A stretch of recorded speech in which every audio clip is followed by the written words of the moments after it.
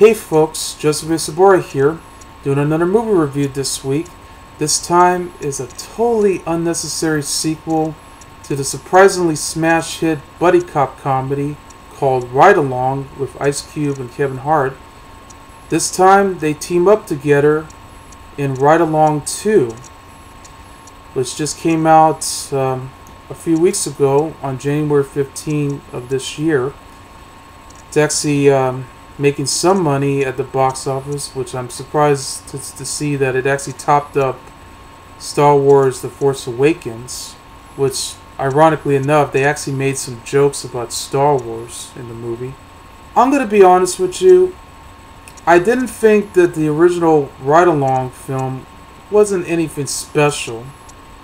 I mean, it was a decent flick. It had plenty of big laughs in it. You know, Ice Cube and Kevin Hart are very talented guys. I mean, they could definitely pull it off. But let's face it, there have been so many better buddy cop comedies out there, and I can name a couple. Yeah, like Rush Hour, 48 Hours, Stakeout, Running Scared, Lethal Weapon. I mean, you name it. There's like so many of them. This is just uh, another buddy cop film that's just, I mean, sure, it will be remembered from time to time, but it'll just become another forgotten movie in the franchise. But but that's what you get when people wind up seeing this movie in theaters and they just can't stop laughing at it. And yes, I saw the movie last night. Yeah, just to be curious enough for it. I mean, granted, I do love the two guys, and I was hoping maybe this one would be alright, but otherwise, it doesn't matter. Because it's already getting negative reviews as of today. I mean, it's already at 12% on Rotten Tomatoes. Yeah, a lot lower than the first movie, because the first movie was at 17%. I don't know, it could have been a lot worse. But this movie was worse. because there are several funny moments in the movie that I can laugh at, but then there are other scenes that just seems to go out of nowhere, and they just seem to go on for so long out of its running time, and the jokes just seems to go flat within minutes. But let's get to the review. It stars Ice Cube, Kevin Hart, Ken Jeong, Benjamin Bratt, who's been in several movies, including Demolition Man. So it was great to see him at least. Olivia Munn, always been best known for that TV show Attack of the Show that aired on G4 a long time ago, and she went on to become a rising star with films like uh, Magic Mike. But then again, she went on to do some bad films like uh, Mortdecai, which came out last year, the one with Johnny Depp. And she was also in that awful film, The Baby Makers. Bruce McGill, Tika Sumpter, Sherri Shepherd, been on The View many times in several movies. Nadine Velazquez and Tyrese Gibson. It's written by Phil Hay and Matt Manfredi, yeah, the two writers of the original film, which is based on the characters by Greg Coolidge, and it's directed by Tim Story. The movie begins set in Miami, Florida. We meet a crime lord, Antonio Pope, who's played by Benjamin Bratt, who has a computer hacker, AJ, who's played by Ken Jeong, who's going through the list of files on his laptop, even though he was watching an internet video of his girlfriend, Tasha, you know, dressed up as a rat. Yeah, a rat suit, doing some sexy twerking moves. Yeah, I can't believe I saw that, but I did. Anyway, Pope had called Port Commissioner Griffin, who's played by James Martin Kelly, on the phone, accusing him of stealing all of his money, and hires one of his hitmen to shoot him inside his bedroom. So meanwhile, in Atlanta, James, who's played by Ice Cube, is working with his partner Mayfield, who's played by Tyrese Gibson in a small role, to go on a stakeout to find a drug dealer named Troy, who's played by Glen Powell. Suddenly, Ben, who just got fresh out of the police academy, played by Kevin Hart, is eager to get on the action just as he tried to contact James on the radio, getting already close enough to Troy. He pulls a gun on him.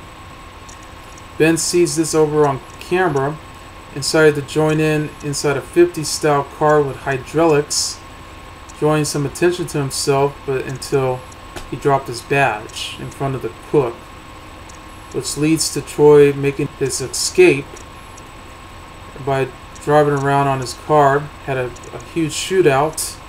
James and Ben decided to go after him as they chase him around into the parking garage. Yeah, and then until Troy had finally uh, ran into the ledge of the of the garage and and landed into another car, crashes, and he's finally arrested. While but Mayfield, on the other hand, has been rushed into the hospital and was taken a leave of absence due to his injury. So Lieutenant Brooks, who's played by Bruce McGill, had assigned James to go to Miami to see what Troy was working for. Ben wanted to go too, just to prove himself that he wanted to do some detective work. But unfortunately, with all the mess that he caused, you know, they couldn't hire him. So at home, Ben decided to plan on his wedding to Angela. You know, James' sister is played by Tika Sumpter. But then he winds up clashing with the wedding planner Corey, played by Sherri Shepherd, on changing everything that he didn't want. But he thought that he can do it himself. Yeah, he tries to be man enough until he accidentally got knocked over a ceiling fan as he went on top of the table. So later that night, Angela was trying to seduce Ben by dressing up in a sexy police outfit. but unfortunately, he wants to up in the bathroom just as soon as uh, James um, had made a call with Angela.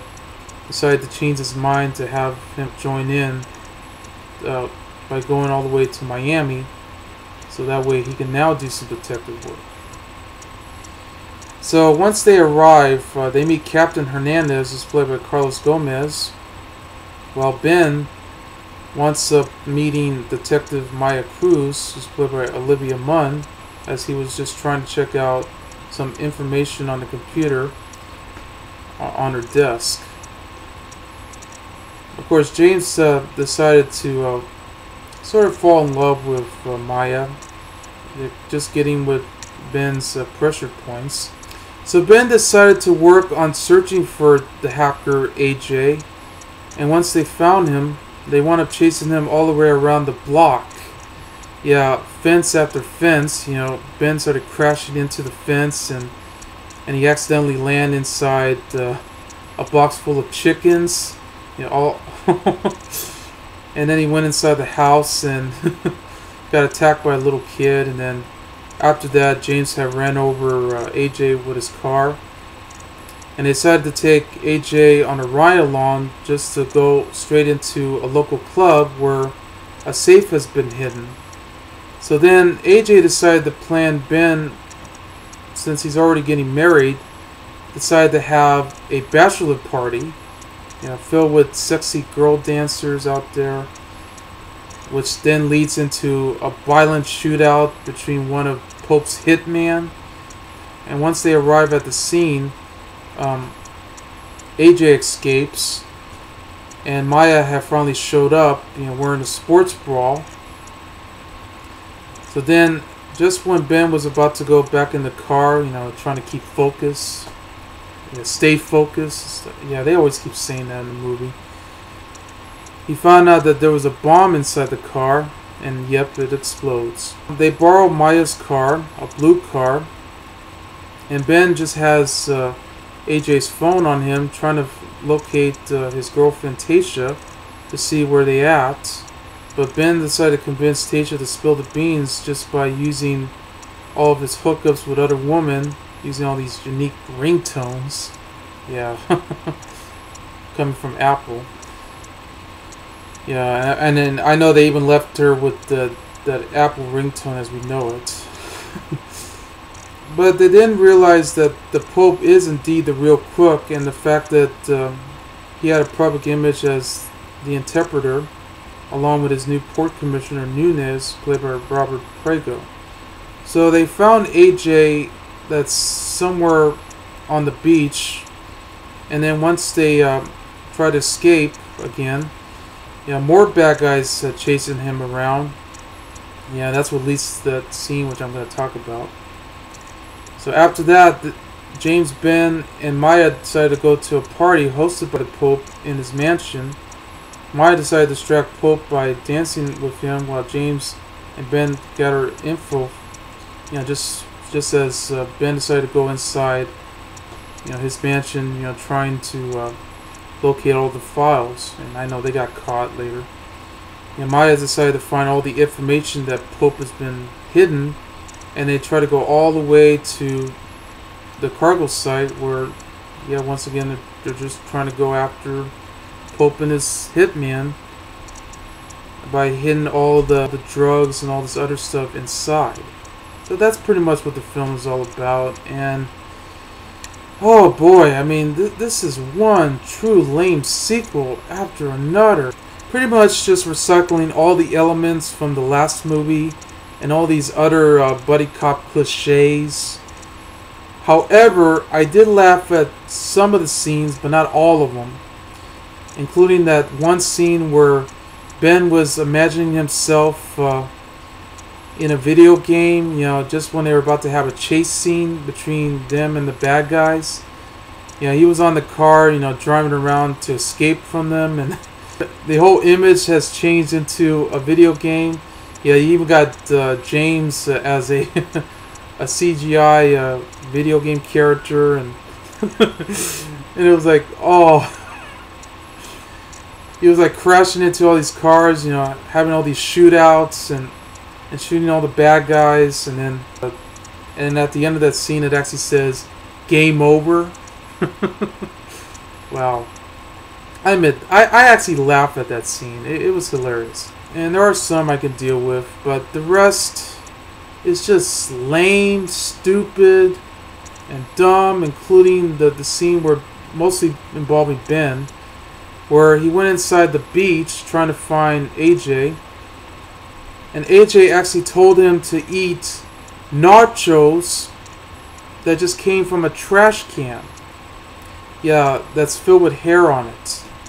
And he just took a bite. Ugh. And then by the time they went inside the mansion, just as um, Ben was assigned to um, get out of the bathroom, yeah, there was a Gucci bathroom. he jumps out of the window and suddenly lands what seems to be a CGI alligator. Oh, and yes, the alligator attacked him. Of course, um, there's even one scene that pretty much plays out just like in the original movie. You know, remember that with that famous uh, pawn shop shootout where uh, Ben actually started getting all crazy, you know, becoming a motor mouth and and accidentally shot the guy. Well, this time he shoots an Hispanic guy, but he wears a bulletproof vest. Because later on, uh, during the final shootout of the film, he does wear the bulletproof vest. Just as they went to the cargo site, and he was driving a tractor uh, going after the Pope, who just uh, kidnapped AJ inside the truck. And uh, while James and Maya had, had went after him, you know, driving on the car, yeah, Pope was about to uh, shoot uh, James and Maya, but then Ben had finally arrived at the scene, and and he got shot, you know, wearing the best, and and then what happens next? James actually picked him up just as um, Pope was already been shot down. He got up, shoot him in the back. And then, there you go. And then he finally got shot down. Yeah. And they keep telling Ben to stay focused, but he never cooperates. He just screws up every last chance they got. As for the cast, once again, Ice Cube and Kevin Hart reprised their roles as James and Ben. You know, one is tough as nails, and the other one is a motor mouth and very clumsy kind of guy. While Olivia Munn is so beautiful to look at, giving her a tough role. Sad to say, she was utterly wasted.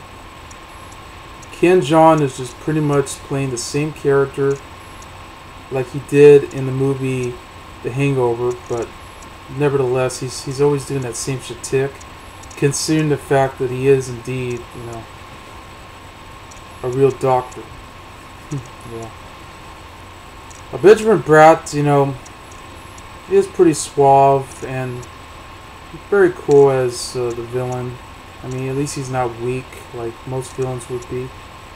So I, I know nowadays, you know, they had to bring in another villain to join you know, for the latest mission. So he, he was good. But the film isn't. And I'm sorry to say it, but it's just a pretty lame, forgettable sequel. So anyway, I give Ride Along 2 one and a half star. I'm Joseph A. Sobora, and I'll see you later. Bye.